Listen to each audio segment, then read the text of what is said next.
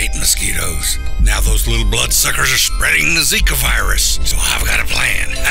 I'm gonna start messing with their love life by getting rid of standing water in dog bowls, gutters, bird baths, flower pots, toys, tires, and anything outside that holds water. Then I'm gonna starve them. I'm gonna limit my outdoor activities, dress in light colored long sleeve, loose fitting clothes, and use mosquito repellent. You should do the same.